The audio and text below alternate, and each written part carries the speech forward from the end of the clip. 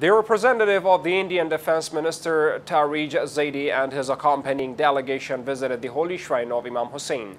During the visit, the delegation was accompanied by the director of the Imam Hussein TV4 channel in Urdu language. Zaidi, an Indian Shia and a member of the Shia party, said the visit was made on behalf of Defense Minister who is from the Sikh faith, conveying his appreciation and respect to Imam Hussein, peace be upon him.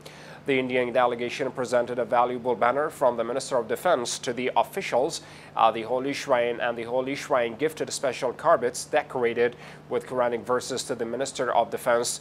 It's noteworthy that many followers of different sects and religions attend the mourning ceremonies of Imam Hussein, peace be upon him, during the days of Muharram and Safar and participate in Arba'in pilgrimage, expressing their love and appreciation to Imam Hussein, peace be upon him.